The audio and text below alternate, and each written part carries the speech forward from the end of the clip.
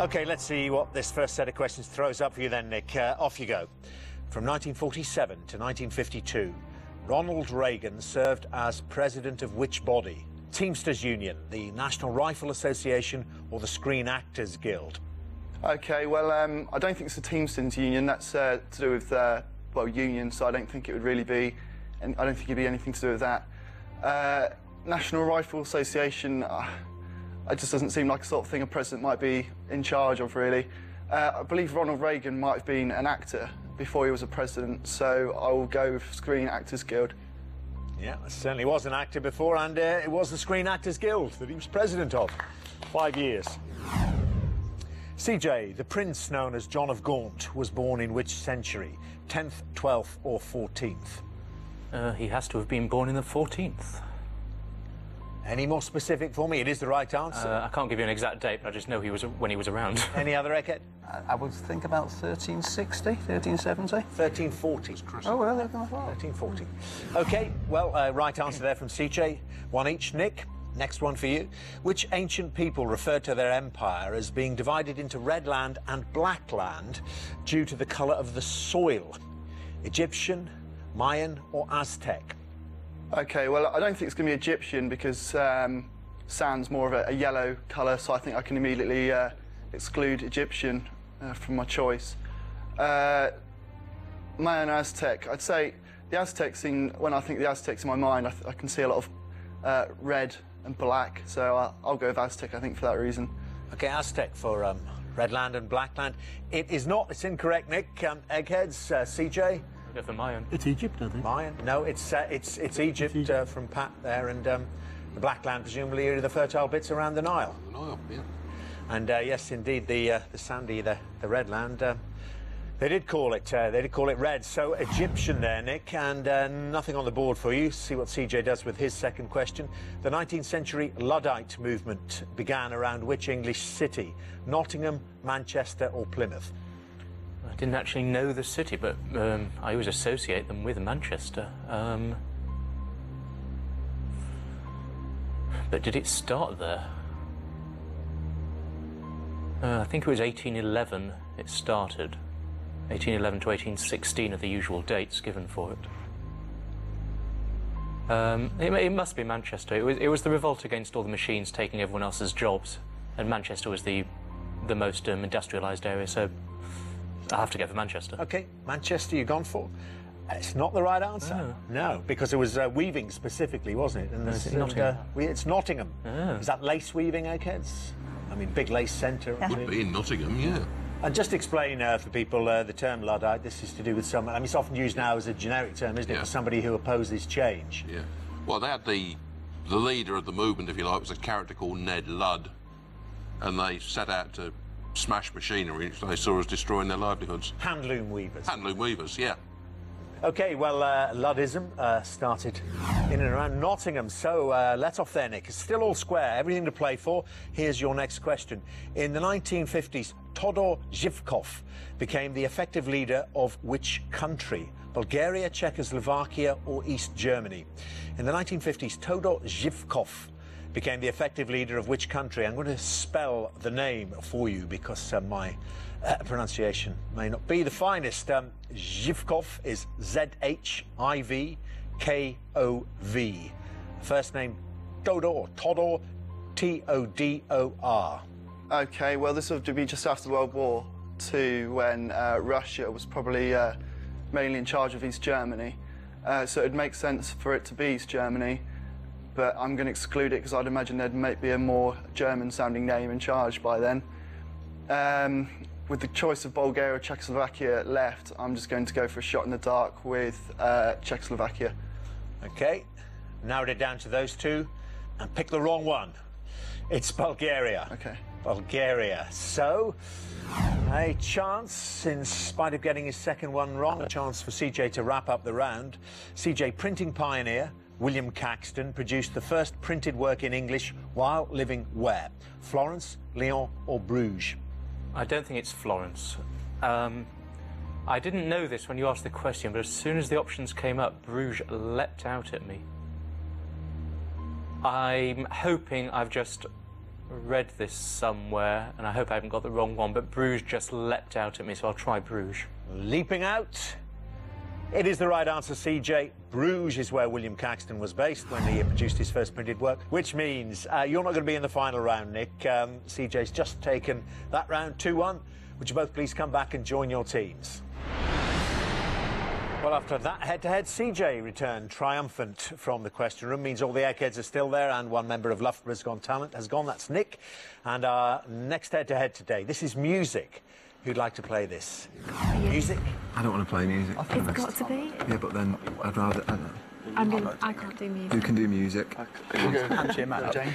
Yeah, all right, I'll go for it. Take one for the team. Uh, yeah, James. Yeah. I'm going to choose James to do All right, music. James, take one for the team. Take an egghead out for the team. Who will you play from the eggheads? Anyone apart from CJ?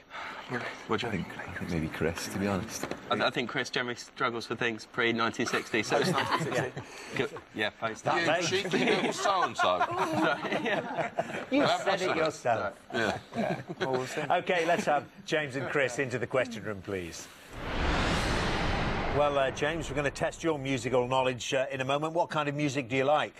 Um, quite eclectic taste. Well, I'd say eclectic, but other people would probably say pretty poor. So it ranges from a bit of hip hop um, to you know classical and even some uh, some Disney um, songs thrown in there at some point. So Oh, right, it's eclectic. Yeah, I think it's great.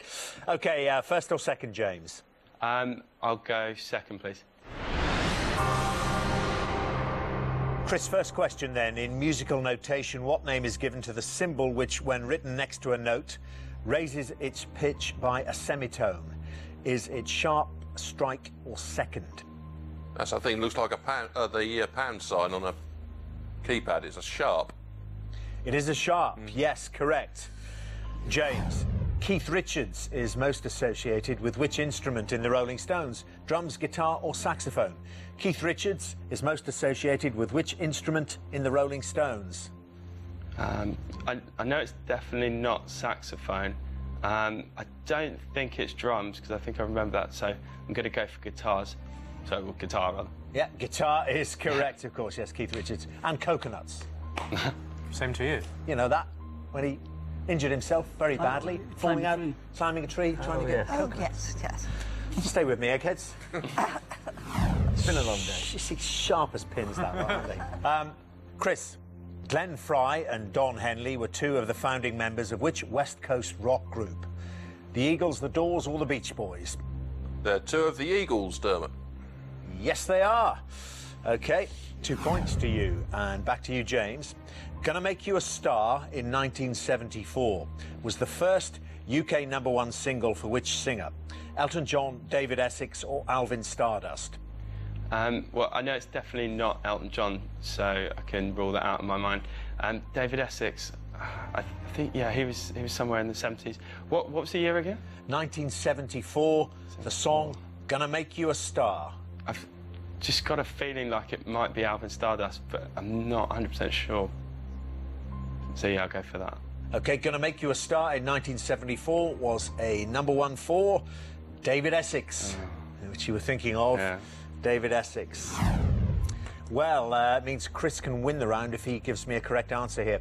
The composer Franz Schubert was initially buried at his own request in close proximity to which other musical great? Beethoven, Vivaldi, or Handel? Hmm. So he died about 1840 odd, didn't he? Vivaldi and Handel were, I think, a bit too long dead by then, so must have been Beethoven. Ah, knowing the dates of the great composers, there's the right answer. Yes, Beethoven, Chris. And uh, that three out of three has given you the round. No need to put another question to you, James. Means you won't be in the final round. Would you both please come back and join your teams? Um, well, two members of Loughborough's Got Talent gone now. All the eggheads still there. Let's get one of them out, shall we? And choose a player to play this arts and books round coming up next. Who's it to be? Um, Chris, Louise, or Kieran? Do you want to have a go at that, Lee? Go on, Lee. I really don't want to have a go. No, go on. Oh, can you do it, Kieran? No. No. Okay, looks like Right, it might yeah, be Louise me. is going to do it, yeah. Really keen to do it, Louise. Can't you do it, Kieran? My mum's an English teacher, I'm sure she'll be just fine. right, well, uh, pick an egghead then. CJ and Chris have played, as you know, so you've got Pat Barry or Daphne. I'll go with Daphne, please. Daphne. Thank you. Okay, let's have you both in the question room, please, then. Louise and Daphne. Uh, Louise, would you like to go first or second? Um, I'll go first, please, Dermot. Good luck. Here we go. The technique of moulding a design on a surface so that it stands out in relief is known as what? Embossing, ennobling, or enlightening? Um, well, I think this is what they do for sort of like um, greetings cards, where they make a picture stand out, and I think it's called embossing. So that would be my answer. Okay, embossing, that's correct. One to you. Which French word is used to mean the total output of an artist? Ochre, objet, or oeuvre? I wish Judith was here. My French is rubbish. My pronunciation, but it's oeuvre. I like that. Oh. It's, it's the right answer. The other eggheads like it, like it because it's correct, yes. Gone green there, so one each. Back to you, Louise. Which British author, twice nominated for the Booker Prize, is best known for his satires about academic life? Salman Rushdie, David Lodge, or Iain Banks? Well, I don't think it's Iain Banks for some reason, and I thought Salman Rushdie wrote about religion, so I'm going to go for David Lodge. David Lodge, satires about academic life, is the right answer. Yep. Two to you. Daphne, what is the title of Alan Bennett's anthology of autobiographical writings published in 2005? Is it Unwritten Rules, Unheard Voices, or Untold Stories? Sorry, Gemma, I'm having a think. Um, I think, my favourite word, I think it's untold stories. Untold Stories, you think? What is the title of Alan Bennett's anthology of autobiographical writings published in 2005? That's the question. The answer is Untold Stories. It's correct, Daphne. Two each, both going very strongly. Louise, which verse measure was used by Dante to write his Divine Comedy?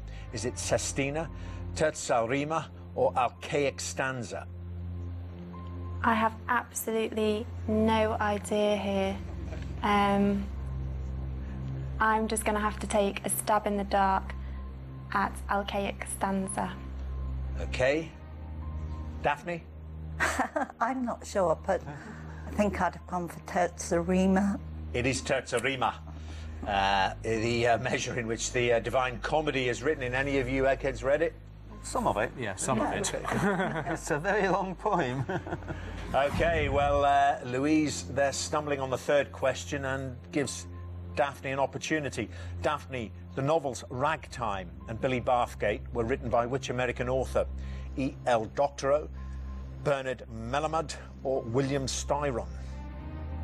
That is E.L. Doctorow.